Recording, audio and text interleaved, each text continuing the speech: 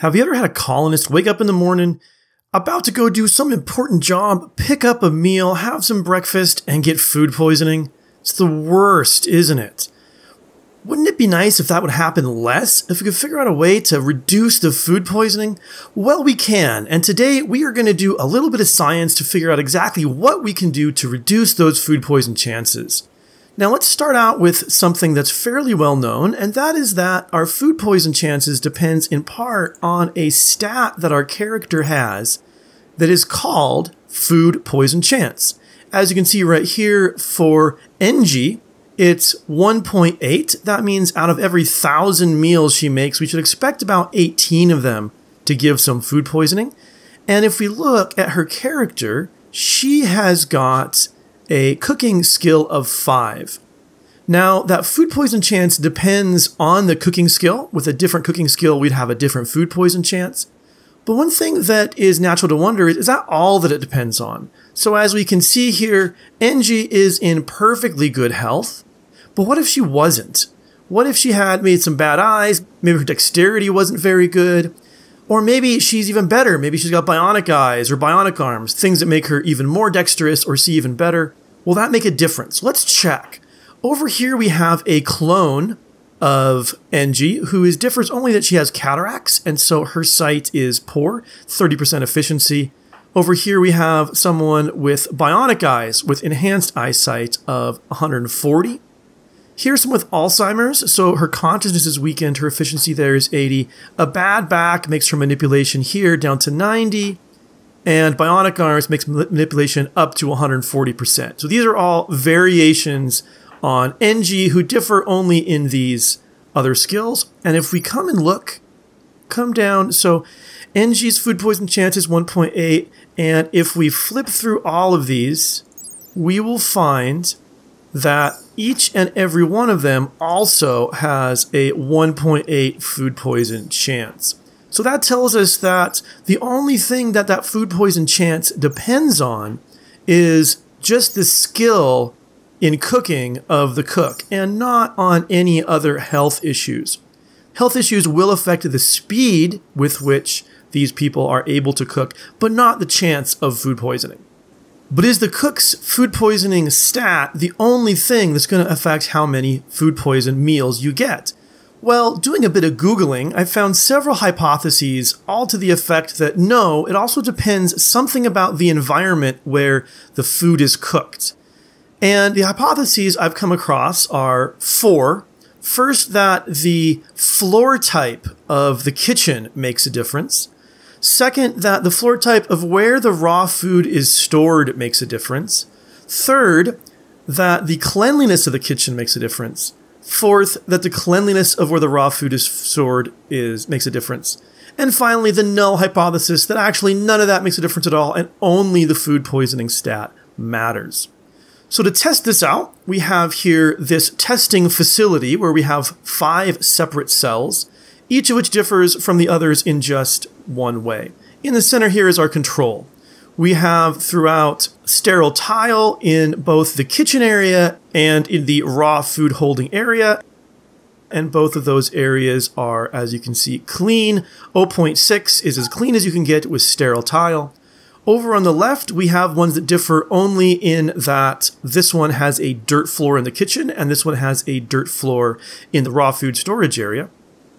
And these two over here differ in how dirty they are. This one has a very dirty kitchen, minus 4.4, and this one has a very dirty food storage area at minus 4.82.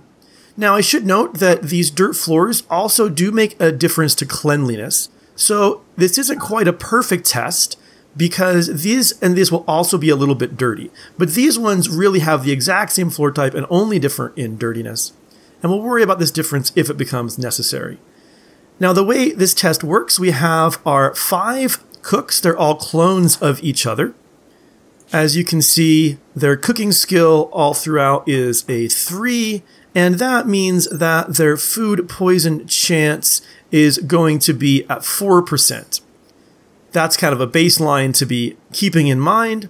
They're all going to be set to cook, and they're going to make 500 meals apiece in their respective uh, areas, but we also have them set that before they cook, they will clean. So everyone who has these clean areas should be keeping them clean all the time. Although if we come and look, the home areas have been cleared here and here. So these fellows will not be cleaning their dirty spots. They'll leave them nice and dirty to make this test work out right. So let's make sure that the bills here have all been unsuspended. There we go. Let's let these fellows get to work. This is going to take them quite a little while, so we'll come back when they're finished. Okay, these guys have finished their cooking and they're having a well-needed rest. And now we can check and see how many poisoned meals they have made.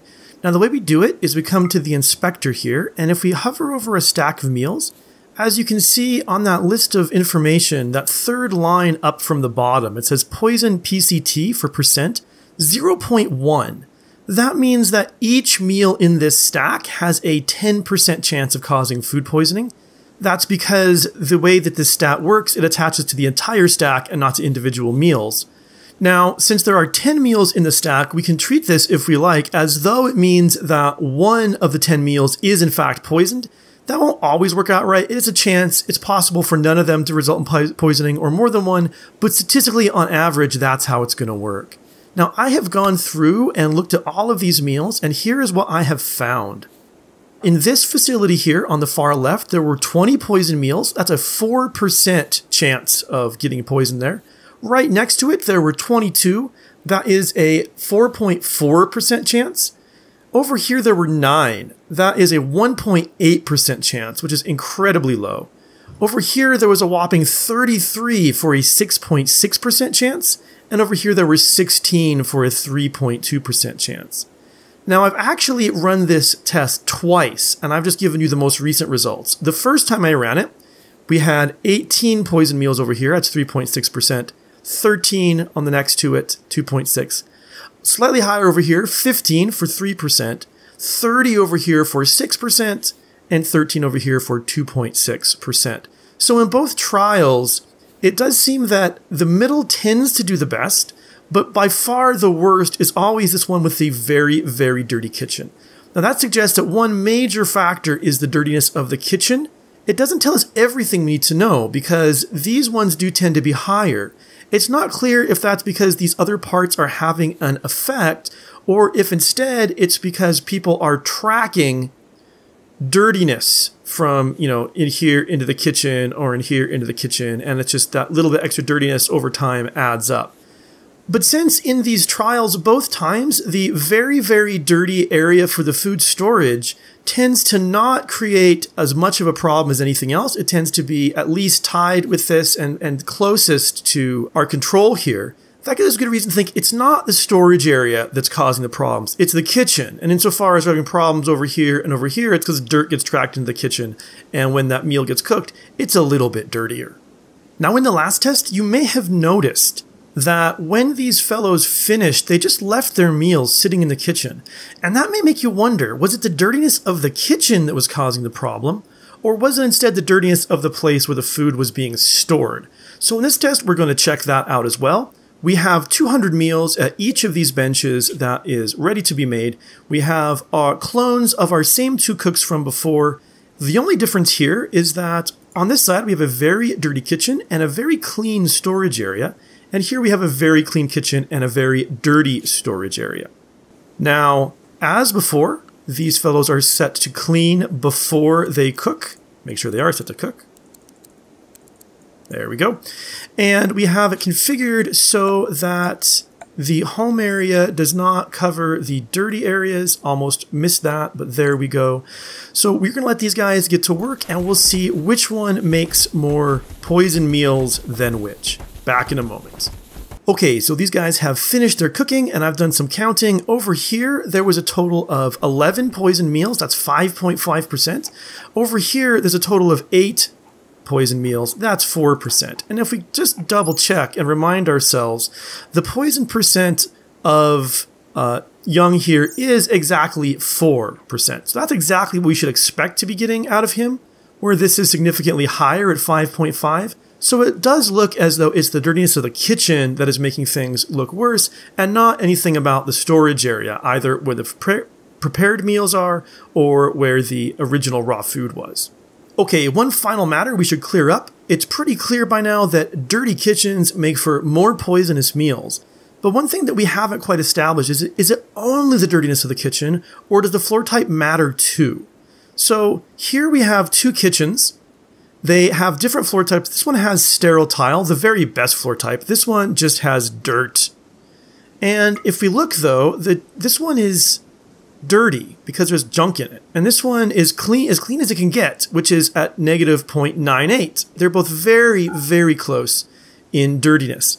If the type of floor makes a difference, we should expect to see additional poison meals over here on top of the ones they get from dirtiness. If not, we should expect these two things to be about the same. So the setup is exactly as it was before. We're going to have each of these guys make 200 meals. They are set as before to clean before cooking, and as before, the dirty area is set to not be cleaned at all. However, unlike last time, this time we'll just let them leave the meals here on the floor. They'll work a bit faster, and the last test showed it's not going to make any difference anyway. So guys, get to work, and we'll be back and see how you've done in a little bit. Well, these guys have finished up. Let's just double check. How are the dirtinesses? Yeah, this is still negative 0.97. This is still negative 0.98. Dirtiness has stayed the same throughout. And over on the left, there were a total of six poison meals. That's 3%. And over on the right, there were seven. That's 3.5%. Very, very close. It's still possible that the floor type made a little bit of a difference, but if it did, it was pretty negligible. So here's what we've learned. If you want to keep your poison meals down, the first thing you should do is level up your cooks as fast as you can to get that poison percent stat down. The second thing you should do is keep your kitchen clean.